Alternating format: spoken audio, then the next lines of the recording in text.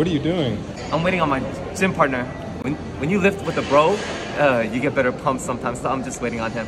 Why are you acting like that? I'm just a little nervous. Shit, man, this is my partner right here. Once I start feeling him up, pause, man. Like shit, about to get good pumps.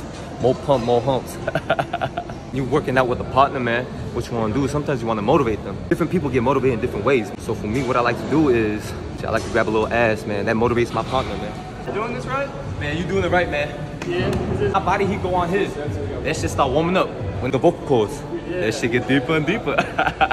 you got a partner, you gotta get, you gotta feel up on them. Mm-hmm. Pause. You gotta feel up on them. So you gotta come up, get this shit down. So when you get the angles, when the angles are going, you feeling them up. More pump, more humps.